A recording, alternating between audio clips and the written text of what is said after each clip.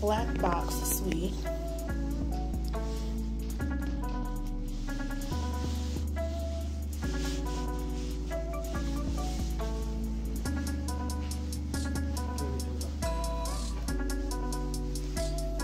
And it also has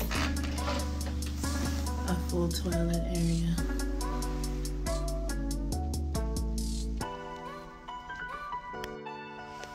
This room can accommodate three travelers. It also has no toilet or shower.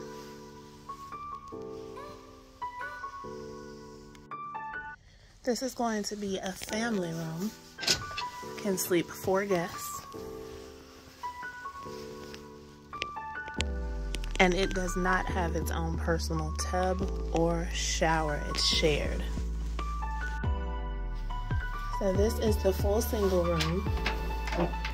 It does have a full bathroom with a shower.